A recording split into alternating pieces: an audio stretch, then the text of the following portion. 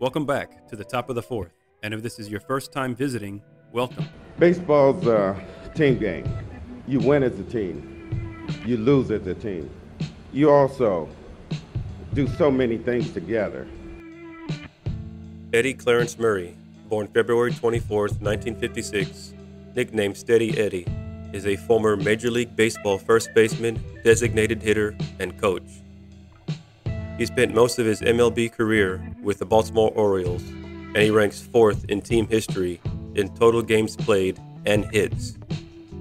Though Murray never won an MVP award, he finished in the top 10 in MVP voting several times. Murray was the eighth child of 12, and as a child, he did not have to go far for a pickup baseball game.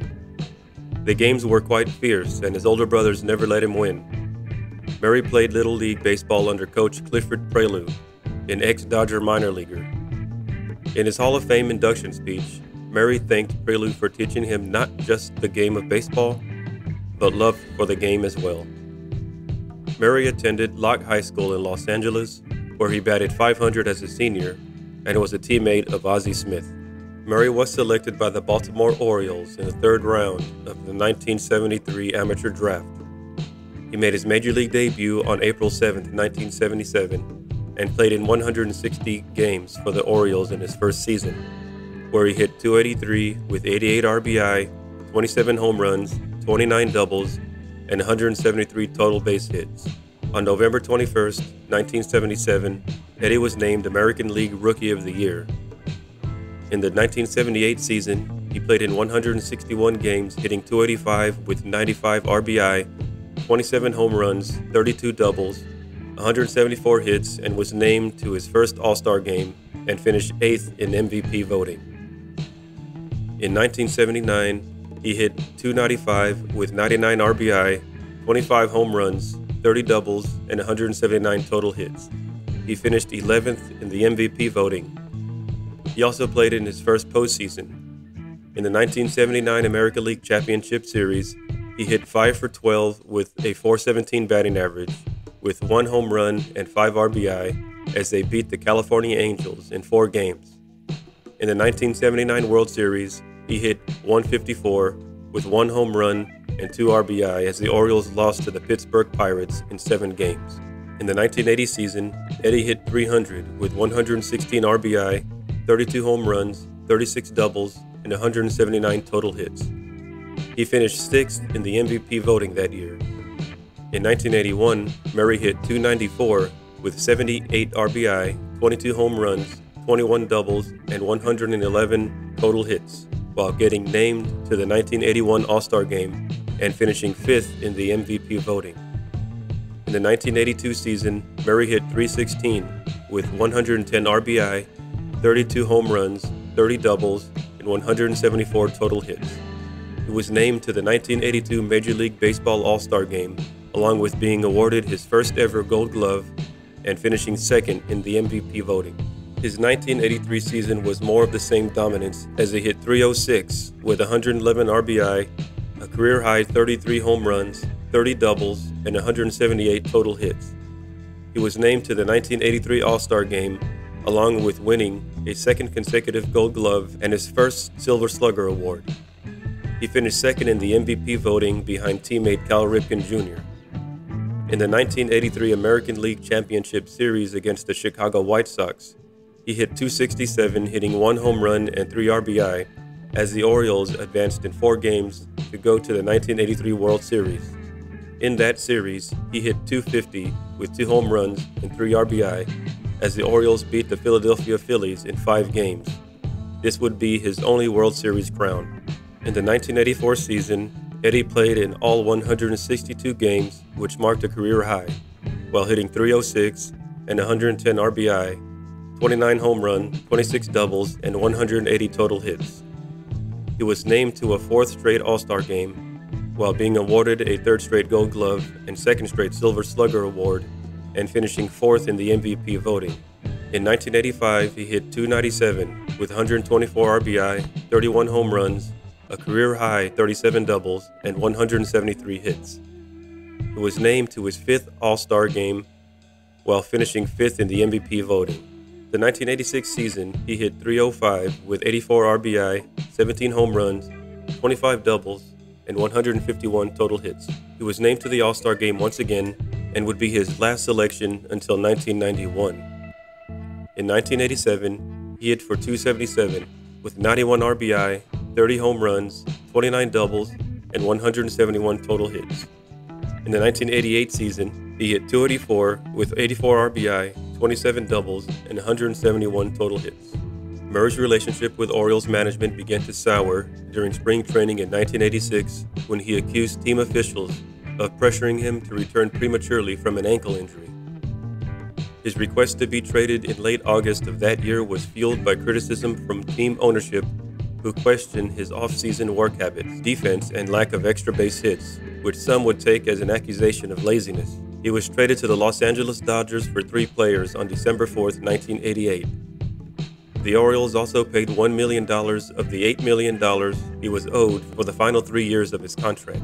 The Baltimore Sun sports columnist Mike Preston called Murray's departure from Baltimore in 1988, quote, one of the lowest moments in the city's sports history, as sad as the Colts leaving for Indianapolis, and as embarrassing as Colts officials allowing quarterback Johnny Unitas to wear a San Diego Chargers uniform, unquote.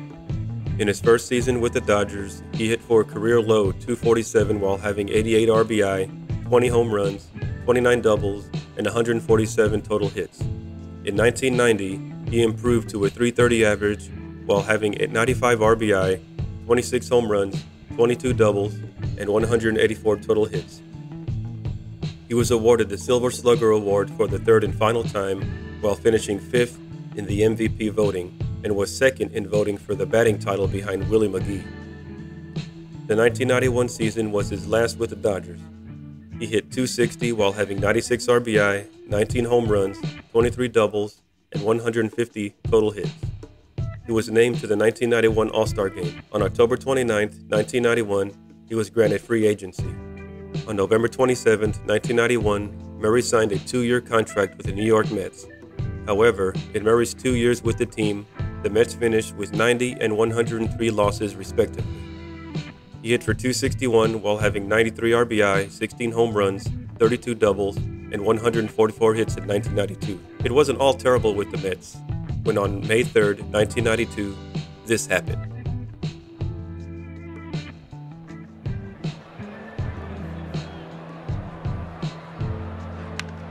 Fly ball, left field and deep. Back is Gant against the wall. Out of here. Home run Eddie Murray, and it's home run number 400 for his career. And the Mets lead it 7 to nothing. Gone with the wind.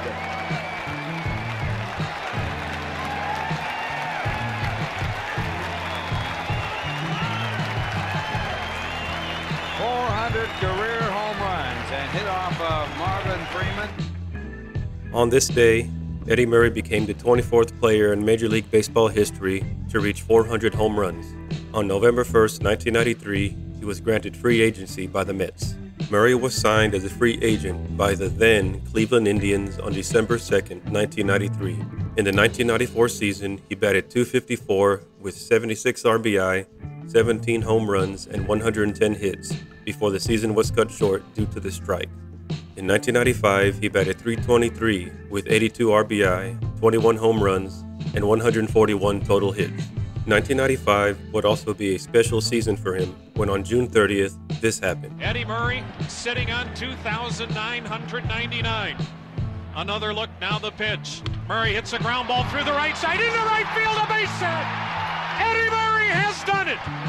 The 20th player in baseball history to reach 3,000. And look and at the here Indian come dugout. the Indians out of the dugout. And Eddie Murray has assured himself a spot at Cooperstown. On this day, Eddie Murray became only the 20th player in MLB history to reach 3,000 hits. In the 1995 American League Division Series, he hit 385 with one home run and three RBI as they swept the Boston Red Sox in three games.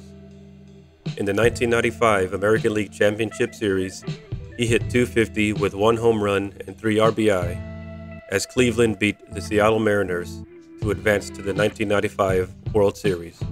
In that series, he hit only 105 with 5 RBI, and Cleveland would eventually lose to the Atlanta Braves in six games. Murray's 1996 season was shared between two teams, Cleveland and Baltimore. He played a total of 152 games between both teams. He hit 260 with 79 RBI and 22 home runs, along with 147 hits. He played in 88 total games for Cleveland, hitting for 262 along with 45 RBI, 12 home runs, and 88 hits. Cleveland traded Murray back to Baltimore on July 21, 1996. He played 64 games with the Orioles, batting 257 with 34 RBI, 10 home runs, and 59 hits. Murray's career home run total reached a rare milestone when on September 6, 1996, this happened.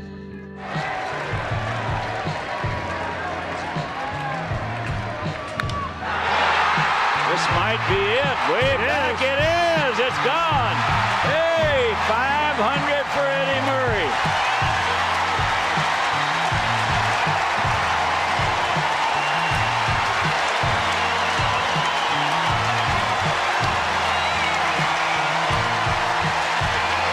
On this day, Eddie Murray became the 15th player in Major League Baseball history to reach the milestone of 500 home runs.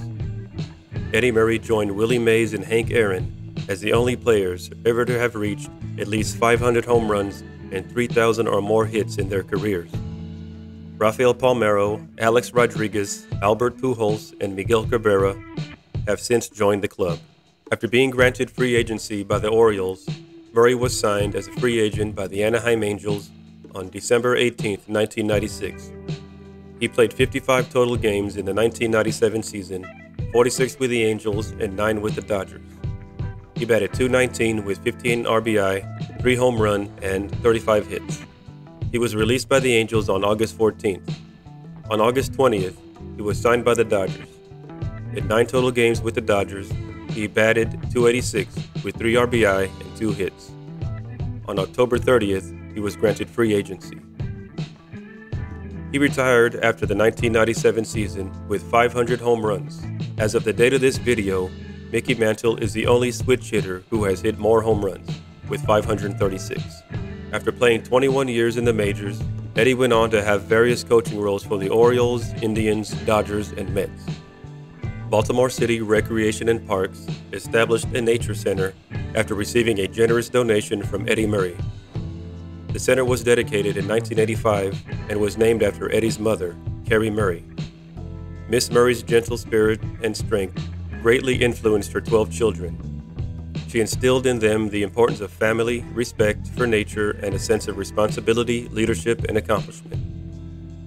The Nature Center hopes that the values by which Miss Murray lived her life will inspire others to fulfill her mission to care for nature and each other. In 2008, Murray released a charity wine called Eddie Murray 504 Cabernet, a nod to his 504 career home runs, with all the proceeds donated to the Baltimore Community Foundation. A bronze statue of Eddie Murray's left handed hitting stance was unveiled at Oriole Park at Camden Yards on August 11, 2012. On July 27, 2003, Murray was inducted into Major League Baseball's Hall of Fame. He said that he was never about one person, but about the team. He thanked the sea of black and orange in the crowd and then pointed to the kids farthest in the back. More than 300 inner city Little Leaguers had come from Baltimore's Northwood Baseball League and told them that one day they would be here too. Thank you. Oh, nice little sea of black and orange out there. Wonderful thing. I was never one much on words. For me, it focused a lot on an individual. And that's not the way I learned to play the game. Baseball's a team game. You win as a team. You lose as a team. You also do so many things together.